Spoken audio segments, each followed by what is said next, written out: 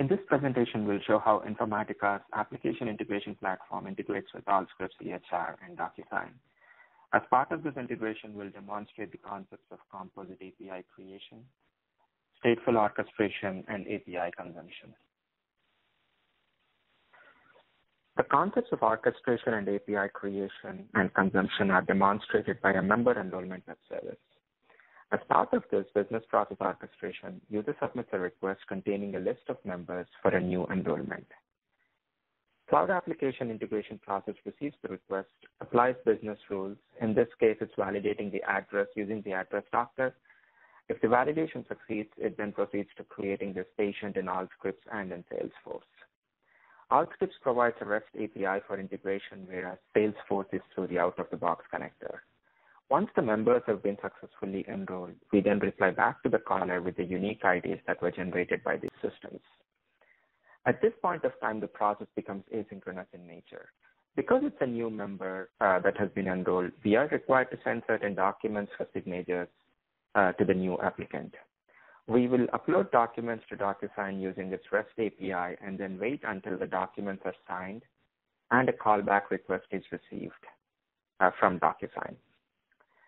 While waiting for the callback, we will also give the user the ability to send events to the business process uh, so that uh, they can uh, check the status of what the business process is doing. In summary, what we want to take away from this presentation is how easy it is to create composite APIs, do service orchestration, do stateful orchestration using the application integration platform. I'm going to now log into Informatica Cloud Platform here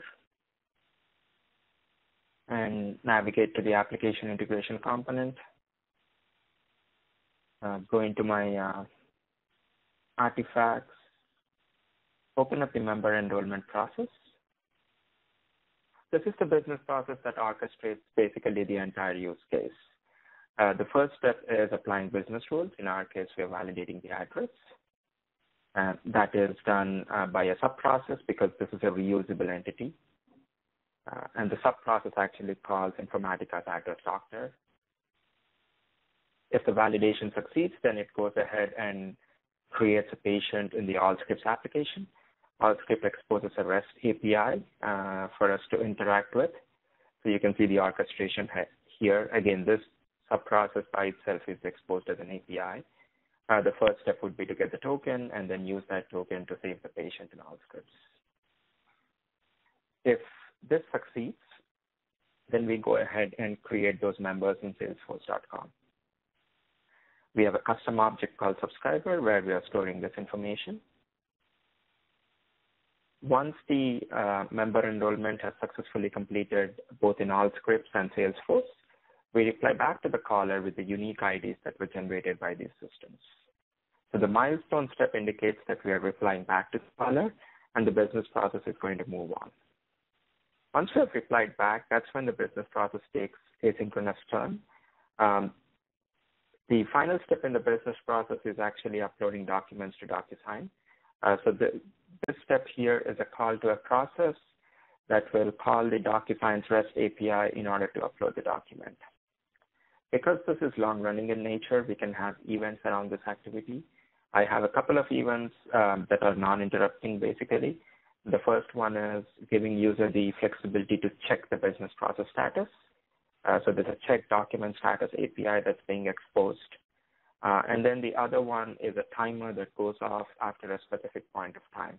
In my case, we wait until a day for the callback to come back.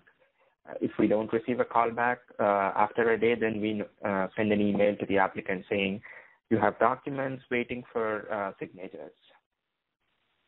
So this is the business process orchestration at a very high level. Uh, you can also do fault handling within the business process and uh, dynamic data routing. If the address validation fails, then we can reply back to the caller saying um, they have to correct the address and resubmit the request.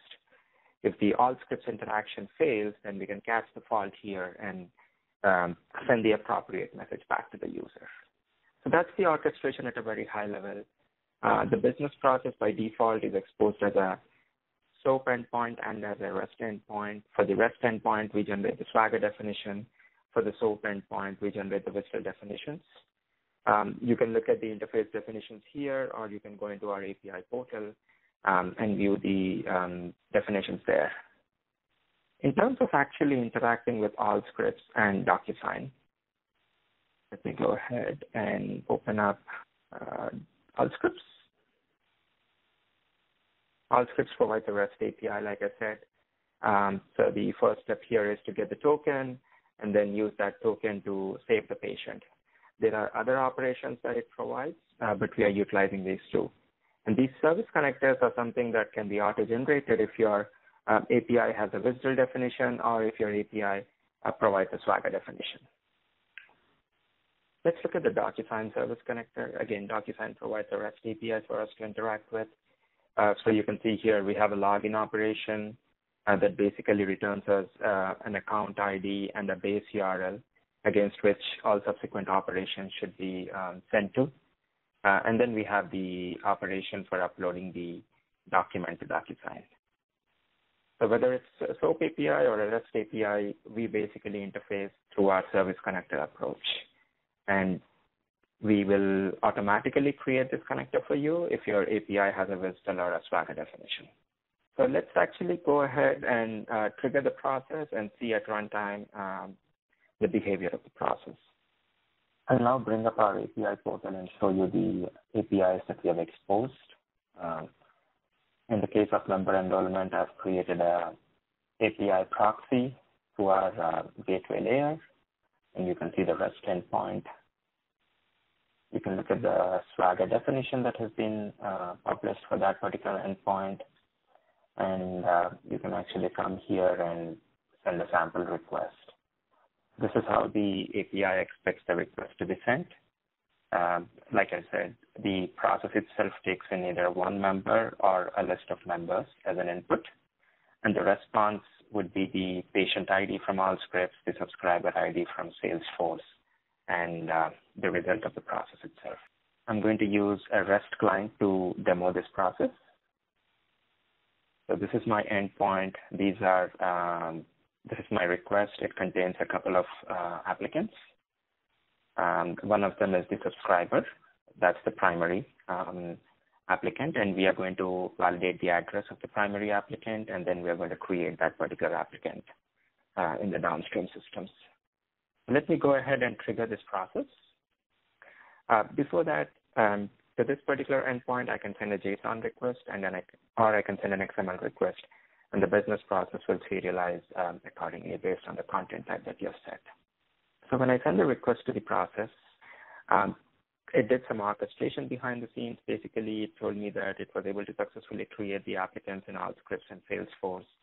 And then it tells me that the documents have been sent for signatures. This is the patient ID from Allscripts, and this is the subscriber ID from Salesforce. So what happened um, behind the scenes? Let me go into Application Integration Console here. And you can see the business process member enrollment is still running, uh, but the sub-processes all completed. Validate address successfully completed. Uh, there were a couple of members, so the save member was called twice. Uh, SFDC member enrollment successfully completed, and the document handling component is still running. So let me open up the parent process, member enrollment. So you can see here the validate address successfully uh, finished and then it say created those patients in Allscripts, created the applicants in Salesforce, and then replied back to the caller, and the business process is basically waiting here uh, for the DocuSign component to finish. And if I open up the DocuSign component here, um, I logged into DocuSign. Um, I got the account ID and the base URL from it. I uploaded the document to DocuSign. It returned me an envelope ID um, that I that I'll use for correlation, uh, but it's basically waiting for a callback from DocuSign. You can also see how we log timestamps for each activity. Uh, we also know what was the input that came into the process, all the data changes uh, that happened within the process. All those details are actually tracked. So let me log into DocuSign here.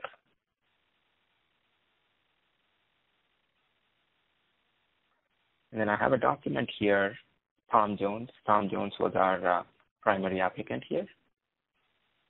I'm going to go ahead and sign this document.